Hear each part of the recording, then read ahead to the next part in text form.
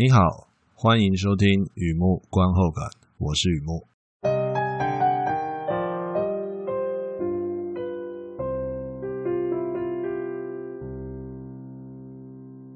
今天来分享一篇电影的观后感哦，《Things We Lost in the Fire》，二零零七年的电影《往事如烟》。这是一部剧情片啊，描述夫妻结婚十一年，有两个小孩。爸爸的小学同学染上毒瘾，花了不少时间帮助这位啊小学就认识的老朋友啊恢复健康。妈妈觉得烂泥扶不上墙，没有救了，不太高兴。爸爸老是这种热脸贴冷屁股啊。除此之外啊，一家四口是幸福美满。某天，爸爸因为热心帮助路人，反被路人打死。连带打垮整个家。妈妈意识到过去有一些小误会啊，呃，亡夫的老友，也就是爸爸之前那个小学同学啊，并没有想象中的那么烂。于是就把家里面曾经失火、曾经受过祝融之灾的这个车库啊，稍微整理一下，改成一个小套房，给对方温暖，稍微暂住一下，也给自己机会探索回忆的余烬。那位老朋友啊，从小学就跟爸爸认识的，也在这样的照顾之下，逐渐的远离毒品。他很清楚自己永远不可能取代谁，只是认识太多年，特别熟悉过世的爸爸有哪些小习惯，因为老朋友嘛，在孩子们心中起了一些替代效果。而这种意外发生在错的时间，结痂的伤口又开始渗血。The Things We Lost in the Fire，这片子 Susanne Bier 导演，Holly Berry、Benicio del Toro 领衔主演。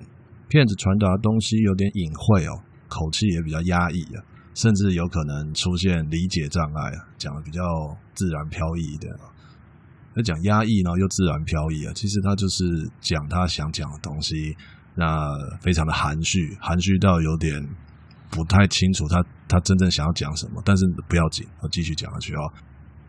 两位主演呢，就像障碍救星，表现的非常好啊。所谓这个疗伤的过程啊，疗愈的过程啊，就是透过这个故事来告诉我们，是一个沉重的片子。那特别介绍一下这个片子，在当年的预预告片啊，预告片的节奏那个版本哦，还让不少人以为它是一个温馨的励志片哦。No No No No No，其实它不是哦，它是一个深沉的剧情片。电影资讯：Things We Lost in the Fire，往事如烟，或者直翻遗失在火中的记忆啊，都是指同一部电影。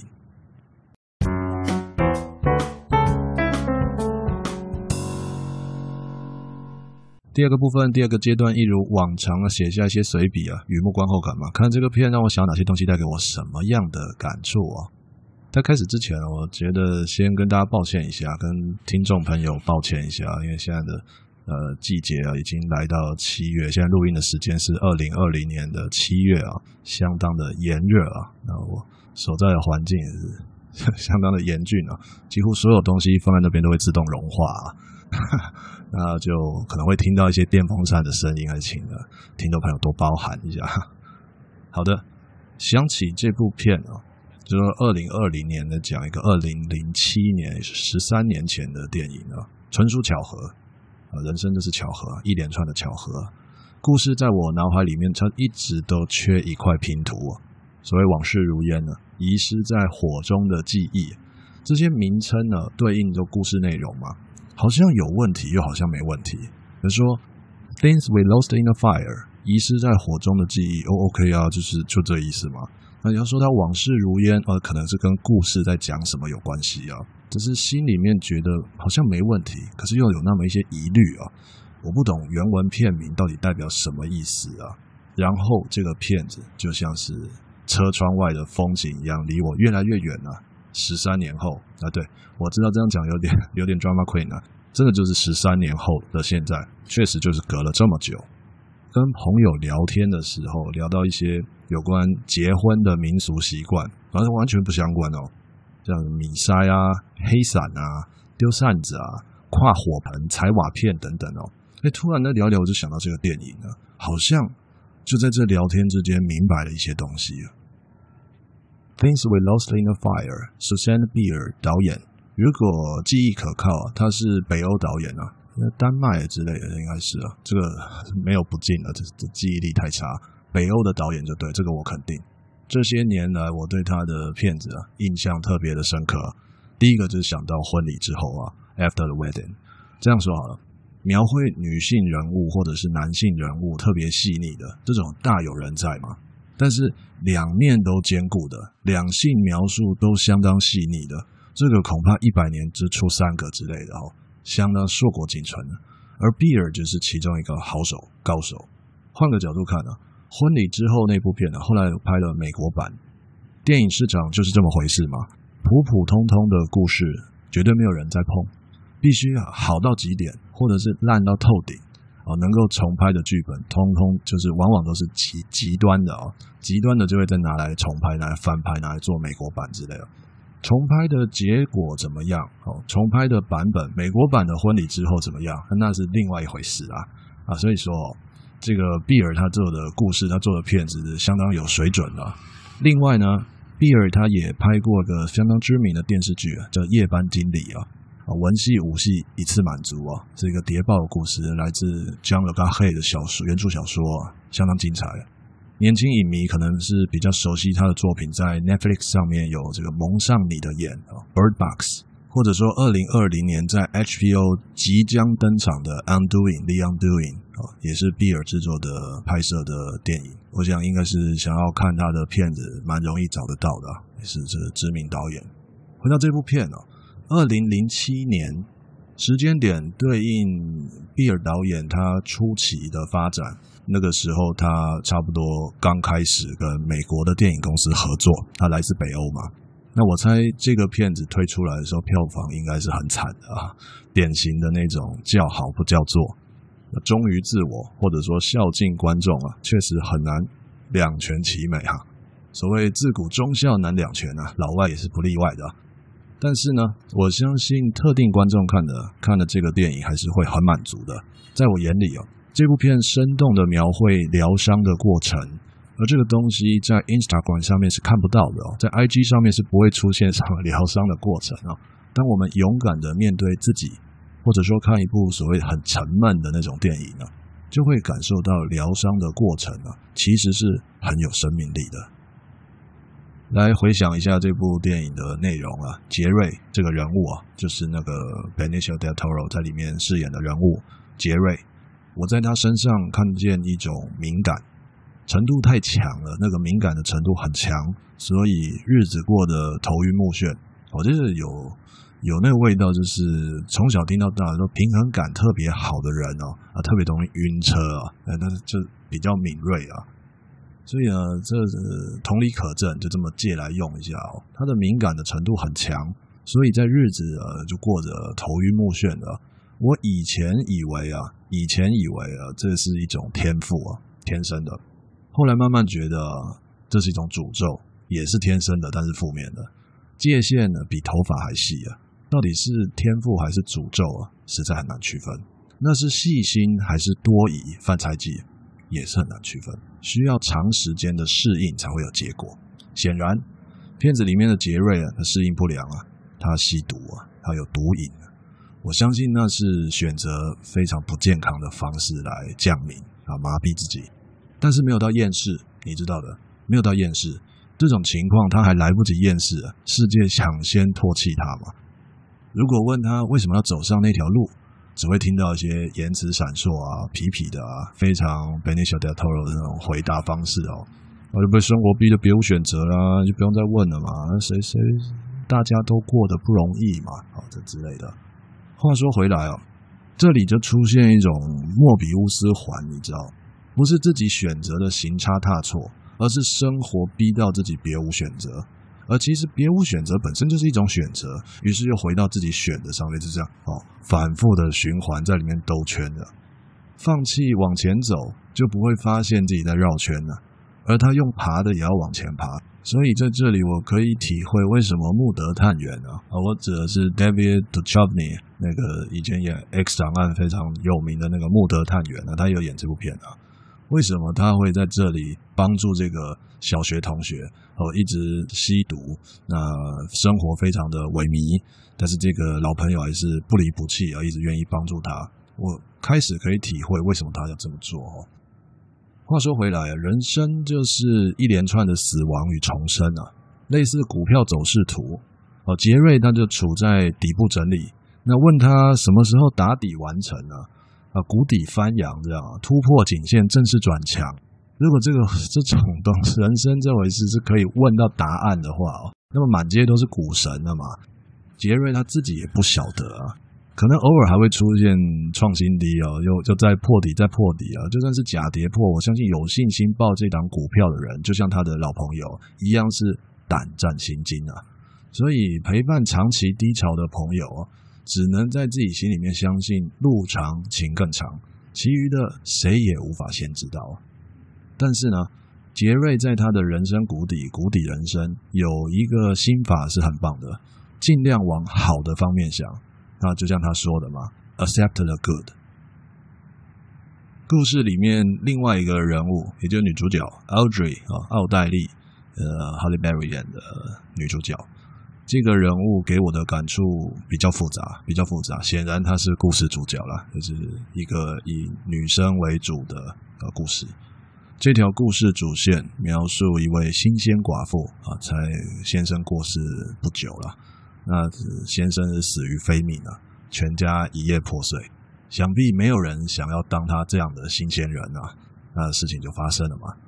在这里，我想我反过来说好了，想象一下一对夫妻哦，天天这个老婆叫老公哦，不要赌钱了，不要赌博了啦，哦，打钢铁公卖保掉啦，那结果。这个老公就赌到是家破人亡，我是瞎了眼才会嫁给他这种人啊！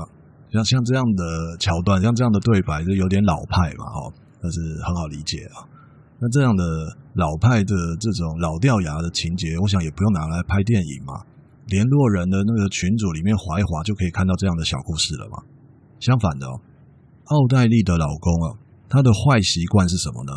热心助人，婚姻的锅盖边缘。在冒泡的、冒泡泡的，通常不是大是大非的东西，而是轻重缓急。在这里，好人做到烂好人，甚至做到连命都没了，那种滋味，就像老前辈说的：如果真的可以找到东西生气，一切就很简单了。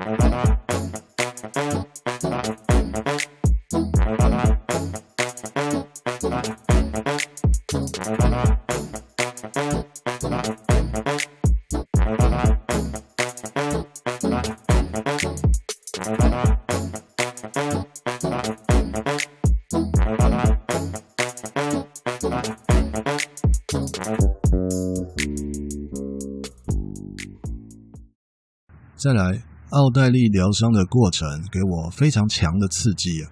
某个平行宇宙里，也许他们可以慢慢相处。也就是说，这个先生过世之后，那先生的老朋友的，有毒瘾的这个杰瑞就被接，某种程度被接纳了，来住到奥黛丽他们家。那这个新的组合、新的生活，我相信在某个平行宇宙里，他们是可以好好相处的。比方说。孩子们不会再那么讨厌叔叔啊，比较呃每天越来越熟啊，越来越觉得叔叔哎其实怎么怎么就发现一些好的地方，而叔叔也知道分寸，很友善哦，没有说要取代爸爸的位置，他知道自己该扮演什么样的角色，慢慢慢慢慢慢一起走过家变，或者一起走过自己心里面的障碍之类的，但不用重组家庭，在这样的该怎么说？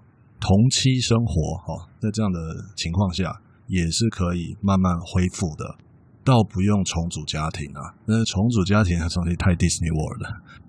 我自以为这样想就已经有把现实考量进来了嘛，结果故事描述的更残酷的现实了，也就是像奥黛丽说的，孩子们成长的点点滴滴，本来应该是孩子的爸爸亲生爸爸陪在身边，陪在身旁，怎么会是你在这里看到我的小孩不会怕水，看到我的孩子喜怒哀乐，应该是他们的亲生爸爸在这边见证他们的成长，怎么会是你在这里呢？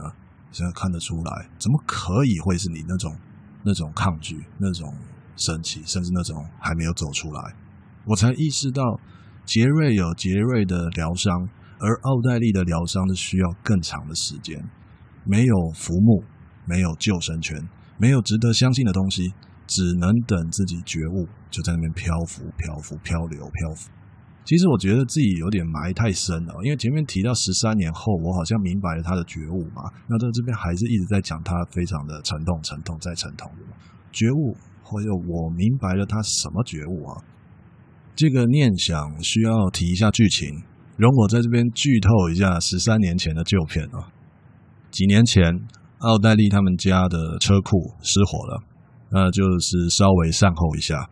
空着就呃放在那边，没有再当车库，就空在那里。奥黛丽很在乎一些珍贵的东西，你知道有这这我不知道，在台湾比较比较不一定啊。美国你知道就是有很多电影里面看到的嘛，就是一个一个房子旁边还有一个车库，那这个车库往往会建一些仓库，放一些手工具或是杂物之类的哈。那这个女主角奥黛丽她很在乎一些。呃，家庭成长一些珍贵的东西、记忆啊、小物啊这些哦，也因为那一场火灾被烧掉了，她很难过，她觉得很可惜。可是她的老公就觉得东西只是东西啊，全家平安在一起这是最重要的。换句话说，包容老公这个烂好人的个性，这件事也算是其中之一啊。因为老公觉得那些东西只是东西嘛，可是这就有价值观上的出入嘛。所以在老公过世之后啊，奥黛丽无意之间哦，不经意的发现一张清单，一张纸上面列了一个东西啊，一个一个东西。坦白说，他们家东西超级多，要看片子就知道，大小东西、杂物什么非常多。小孩我记得有三个吧，这东西自然是非常多的啦。奥黛丽就发现一个，她从来没有在家里面看过这个东西，怎么会在我们家？从来不晓得。但是东西这么多，有这种感觉是很正常的，在家里面从来没有看过这个东西。而那一张清单是老公的笔记，逐一写下火灾的时候烧掉哪些东西。于是奥黛丽看那个清单就有了啊，原来如此啊，然后就说了这个片名：Things we lost in a fire。要说这个故事代表往事如烟，或者说遗失在火中的记忆，好像有问题，又好像没问题啊。当我和朋友聊到。结婚习俗啊，刚刚有提到一些，其中一个跨火盆哦，突然闪现一念，跨越火盆，类似经历一场火之洗礼啊。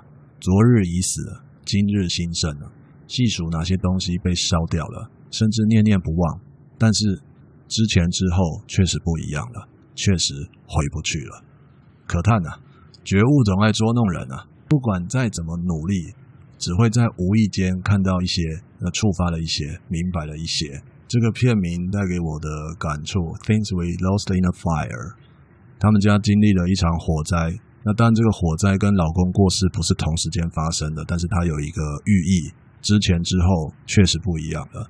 我们能够跨越这个火盆，但是有些东西也确实在过去烧掉了，它不会再出现了，而我们也回不去了。就是这个之前之后的不一样。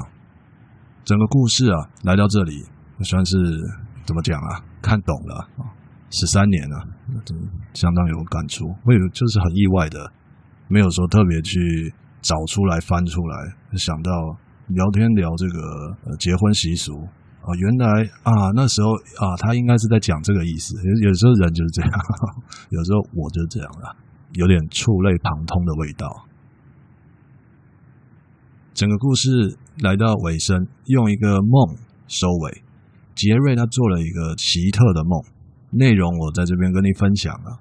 他是这么说的：我常常做同一个梦，每次梦的开始都是我偷了银器，那找熟人换现金，再去老地方找药头买粉，结果我找不到人，换了几个地方还是没人，好像整座城市把我逼到绝境，逼到死角，有那个不好的预感哦。我整个人很慌，我开始跑逃啊！下雨了，天越来越黑，我跑回老公寓，翻箱倒柜，有没有之前没有用完的粉？觉得自己抖得很厉害，结果在公事包里面找到一个气球，我就站在那边，一手拿着废物，另外一手抓着要买粉的钞票，那看这个气球，整个人非常的平静，然后我就醒了。这该怎么说嘞？这个这个梦我印象非常深刻哦，因为它很有艺术感，只是没有办法用逻辑思维去拆解的。如果说逻辑可以解梦的话，那真的会解梦的人都失业了吧？哦，所以它是一个感觉，它是一个整体来看的东西，不不太需要用呃大脑去分析它。你这一路这样听下来，感受下来，就发现，它它有一些东西在里面。生活就像气候，有所谓的四季轮替。却未必四季分明哦，尤其是现代化生活，酷寒、暴热、狂降雨，随时都可能乱了套。有的人相信人类超强科技，到时候就会解决所有问题。我想是吧？应该可以吧？只不过时候还没有到之前，我们都必须承受变迁、意外、各种不习惯。可能像杰瑞就这样自我放逐了，或者像奥黛丽每天照三餐的崩溃。但是呢？这个梦包含了乌云，还有旁边的银线，混乱、荒谬、无厘头。然后尽量往好的地方想，逆来顺受，乱来也顺受，上天就会还你该有的平静。